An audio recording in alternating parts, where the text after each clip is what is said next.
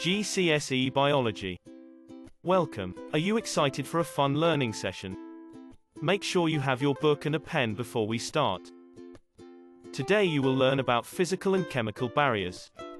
Physical and chemical barriers. Physical barriers stop pathogens getting past them or make it hard to do so. An example of a physical barrier is the skin.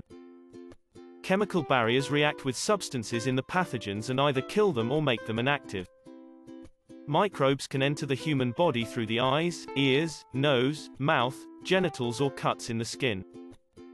The skin is a physical barrier. The skin is very thick. Unless it is cut most pathogens cannot get past it. Some vectors can pierce the skin, e.g. mosquito. Lysozyme is a chemical barrier. An enzyme secreted by the skin. The enzyme can break down the cell walls of bacteria. Found in tears, saliva and mucus. Mucus contains lysozyme acts as a chemical barrier and this sticky secretion is produced by cells in the mouth and nose. Dust and pathogens get trapped in the mucus. Cells that line the nose and the respiratory system have cilia.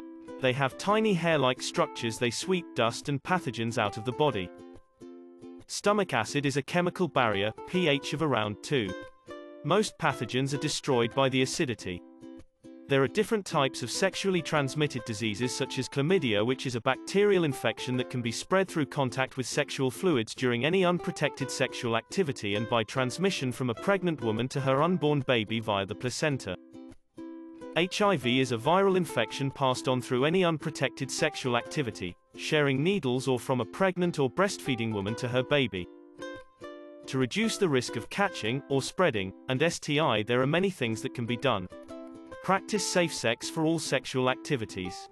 Do not share needles. Get tested regularly even if in a committed relationship and using condoms. Testing is important as some STIs have few symptoms and not all individuals have symptoms. Some STIs can lie dormant before showing symptoms and without regular testing it is possible to pass on infections.